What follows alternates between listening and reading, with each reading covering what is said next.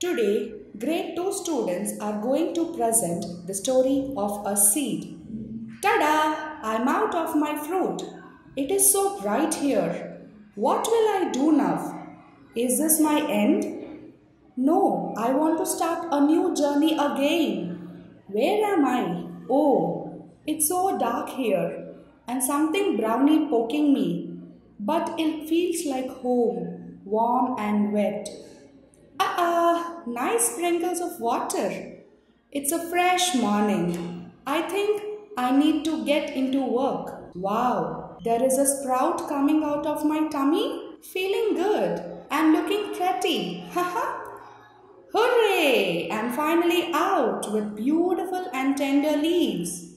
What a sunny day. It's so refreshing and I feel active to work.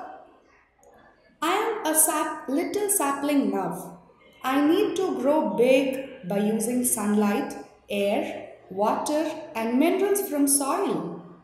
I am grown up and now I am a tree. Hello baby fruits. Let me help you to grow big and ripe. Grow my little babies.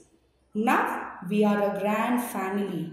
My dear loved ones, share your love and spread happiness throughout the world. Ta-da! I'm out again. Hmm, I'm excited for my new journey.